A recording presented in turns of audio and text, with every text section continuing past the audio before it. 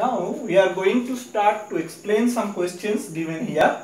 First question is compare the boiling points of hydrides of the group 15 elements. These are the hydrides of the group 15 elements. Ammonia, phosphine, arsine, this is arsine, stibine and bismuthine. So we have to compare the boiling point of these compounds. Now boiling point, boiling point depends on depends on first molecular weight second interactions interactions means intermolecular attractions and third surface area surface area. Now among these three the first factor is predominant here from phosphine to bismuthine. As we go down the group the atomic number that means atomic mass from phosphorus to bismuth increases. So the molar mass of bismuth phosphine arsine stibine bismuthine from left to right increases. So the boiling point increases from phosphine to bismuthine because molecular weight with the increase of the molecular weight boiling point increases. But the problem is for ammonia. Here we know that ammonia uh, as here the central atom is nitrogen which is the topmost element of the group 15 and forms and can form hydrogen bond because it has the very high electronegativity. Just after fluorine and oxygen nitrogen shows very high electronegativity so it can form intermolecular hydrogen bond. And due to the presence of intermolecular hydrogen bond so interactions between the molecules ammonia molecules are very high. And that's why to uh, break this linkage to go to the vapor state to boil it requires greater amount of energy. Hence the boiling point sequence is phosphine less than arsine and then comes ammonia. This is the anomalous behavior of ammonia. Then stibine, SbH3, then bismuthine.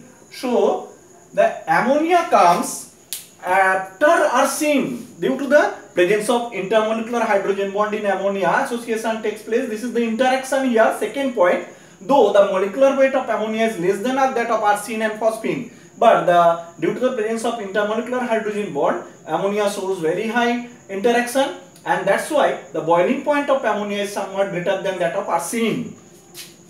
So now I come to the to explain the basic property of these hydrides. Basic property. Now basic property of these hydrides. Now what is uh, how can we explain the basic property? Because we know that that substance has Lewis base that substance is a Lewis base which can donate its lone pair can donate its lone pair to the other substance. Donate its lone pair to the other substance. Now we know that due to the presence of there are actually two type of explanations. Number one number one due to the small size of nitrogen due to the small size of nitrogen as this is the topmost element of group 15 so the lone pair bond pair repulsion because lone pair bond pair repulsion becomes very high.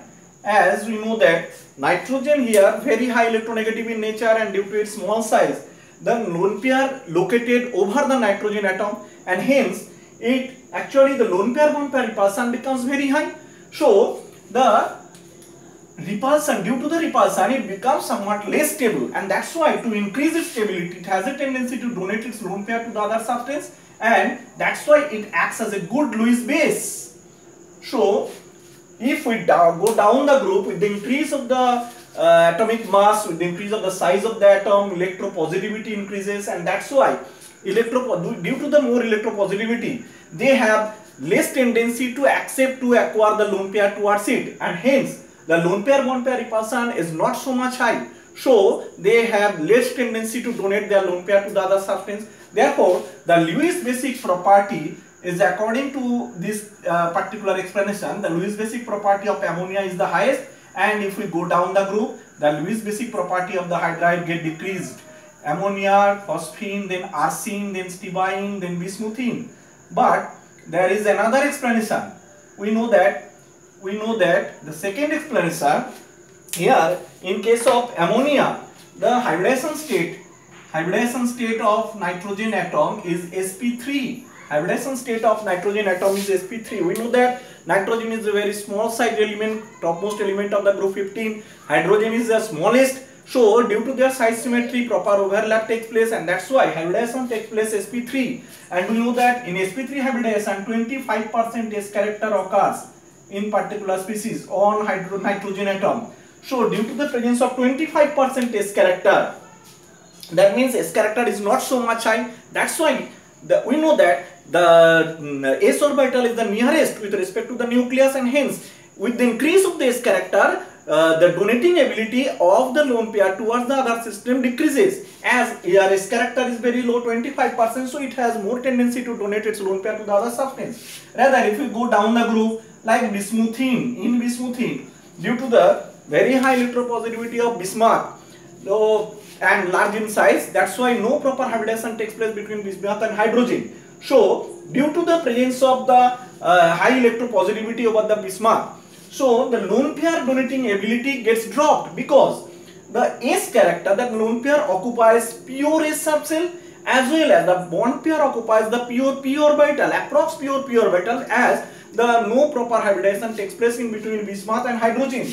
So the lone pair occupies approx 100% S character and that's why due to the high percentage of S character, they have less tendency to donate their lone pair to the other substance.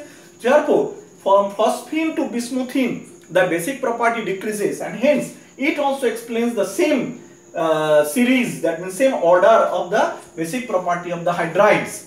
Now we come to the to explain the question number C, bond angle among the group 15 elements. Now bond angle, how will you explain the bond angle of the group 15 elements?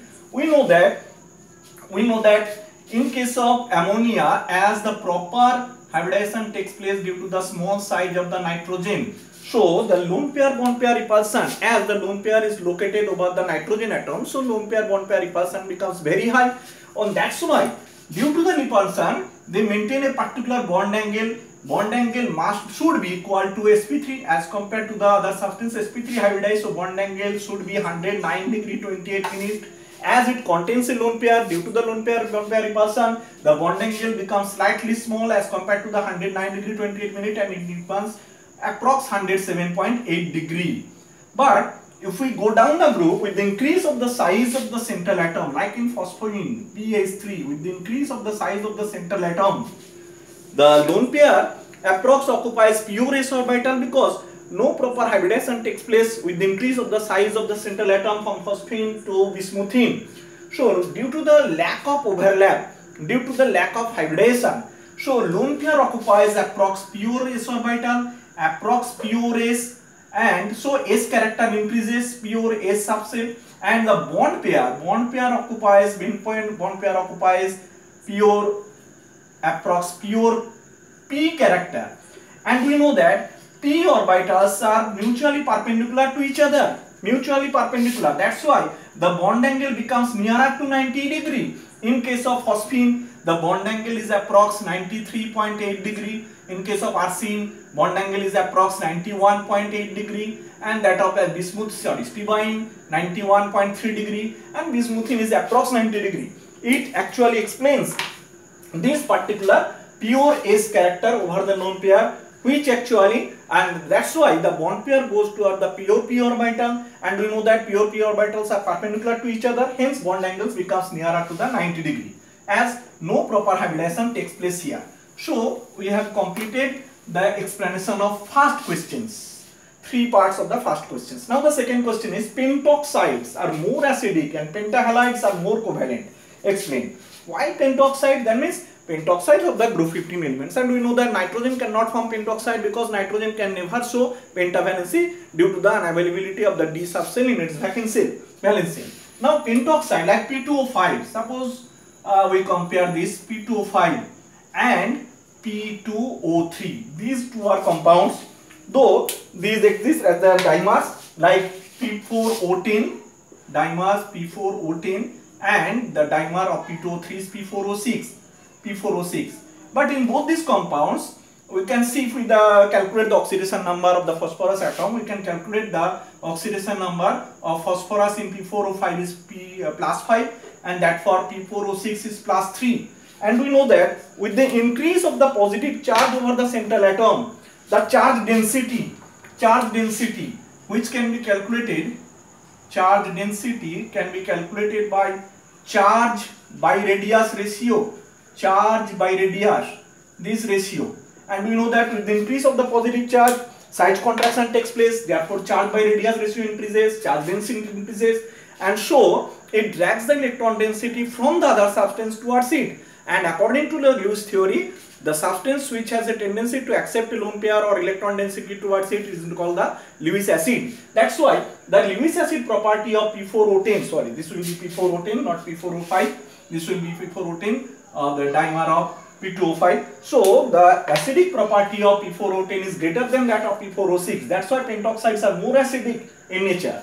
Now I'll come to the uh, next part, pentahalides are more covalent in nature. Why pentahalides are more covalent? See, PCl5 and PCl3. In both these compounds, if we consider the oxidation number of phosphorus that is plus 5 and that is plus 3. Now we know that with the increase of the positive charge over the central atom, it drags the electron density towards it. The bonding electron pair is more shifted towards the central atom and that's why the we know that the size contraction because due to the presence of plus 5 charge that means del 5 del positive charge over the phosphorus atom here in case of PCl5 and 3 del positive charge over the phosphorus atom here in case of PCl3 so charge density which we have already discussed the charge density over this phosphorus in PCl5 is more. And we know that with the increase of the charge density size contraction takes place so size similarity occurs between the group 15 and group 17 element. Already we know that the group 17 element chlorine is smaller than that of phosphorus. But due to the high charge density over the PCl5, over the phosphorus atom in PCl5, the size contraction takes place and hence due to the size symmetry between phosphorus and chlorine in PCl5, covalent character increases, perhybridation takes place. So PCl5 is more covalent in nature than that of PCl3. Now, so this is the explanation of the question number 2. Now we come to the question number 3. In solid state, PCl5 can conduct electricity. We know that in PCl5, in PCl5, the hybridization state of phosphorus is sp3d, sp3d, which is TBP shaped, triangular bipyramidal, sorry, TBP shaped, triangular bipyramidal shape. And the structure is like this. In TBP shaped, we have already uh, known, already learnt in our class 11 that the structure is like this. And in this structure we can see that two types of bond angles are there. This is 90 degree and this bond angle is 120 degree. So due to the presence of two different types of bond angles the bonds are distorted. Some bonds are elongated and that's why weaker and some bonds are contracted that means small. So that's why uh, that is stronger. These bonds are called equatorial bonds equatorial bonds and which are stronger. And these bonds are called axial bonds which are weaker. So due to the presence of different type of bond lengths then this system is somewhat unstable and on heating it decomposes to form PCl3 and Cl2 so in solid state it readily converts to the more stable state PCl4 plus and PCl6 minus. So 2 PCl5 in solid state, in solid state slowly converts to these two ions PCl4 plus and PCl6 minus because in PCl4 plus the phosphorus is in sp3 hybridization state and all the bond angles is approx 109 degree 28 minute. So it is a perfect tetrahedral shape, no distortion takes place, hence it becomes stabilized. And in PCl6 minus, we know that the central atom is sp3d2 hybridization state, sp3d2, in which the bond angle becomes 90 degree.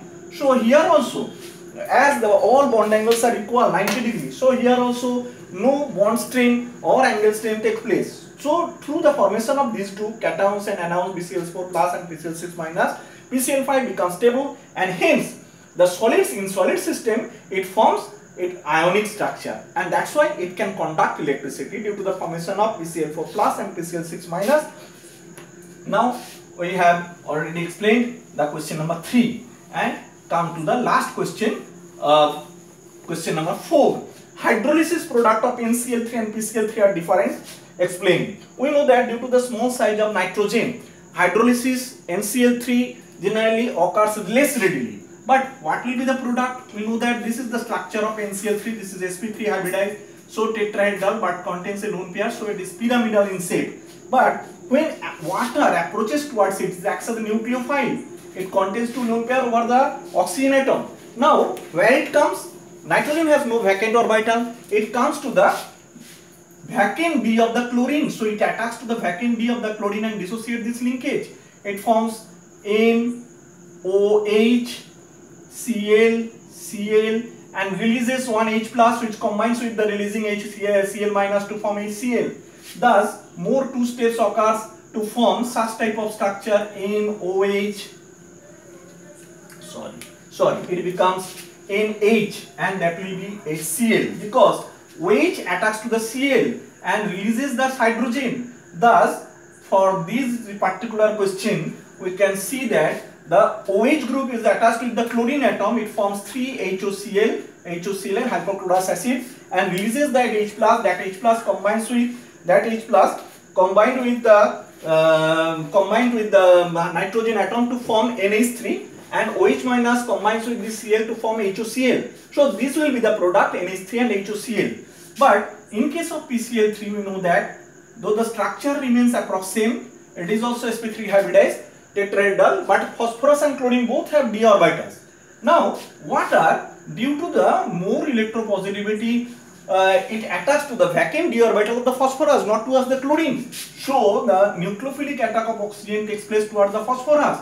Therefore such type of structure takes place. OH it contains a lone pair and Cl dissociates so it forms HCl at first and two other chlorine atoms are there. So subsequently two other molecules of water then attack takes place nucleophilic attack and the final product will be POH, OH, OH contains lone pair over it and 3 HCl and this molecule readily dehydrates to form H3PO4 H3 uh, sorry H3PO3 sorry H3PO3 so this will be the product H3PO3 and HCl POH whole 3 plus 3HCl so compare these two the first part NCl3 on decomposition on hydrolysis with water to form NH3 and 3HOCl but PCl3 on hydrolysis gives H3PO3 and HCl. So this is the basic difference between the product. So these are the explanations of the four questions.